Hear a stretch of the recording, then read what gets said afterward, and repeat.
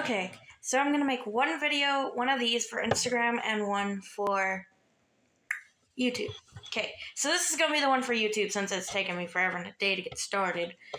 So, of course, um, if you saw my video from a few days ago where this person said my pictures are all AI generated, that's false because here's the camera I used to take them on.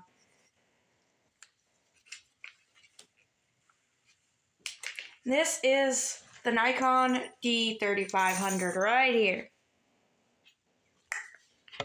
And for anyone who wants to know how to get up close moonshots, here you go. So, no, my pictures are not AI generated. These literally what I use. And I hopefully hope or the hopefully I get the other ones I want for Christmas, which will help me get way better pictures of the moon. So yeah. And then if you really want to get technical, I have more stuff that goes with this. So, here's the stuff I used to clean my cameras with right here. Here's my little lens duster. So, yeah, I have a camera. I know how to use it. And no, I don't just mean auto mode. I mean, I literally can shoot in any mode. Like, seriously does not take anything. Like,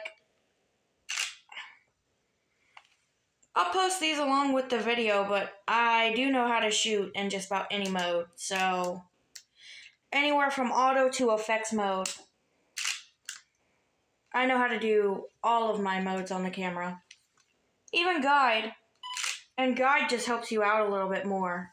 But, either way, I know how to do like photography. So you can't really say something unless you actually know for a fact because once again, for a fact, that person is wrong. And anyone who's seen my other video of me cleaning my camera and the other one that's all about my camera, um, you've seen that I know what it does. You've seen me shoot in action.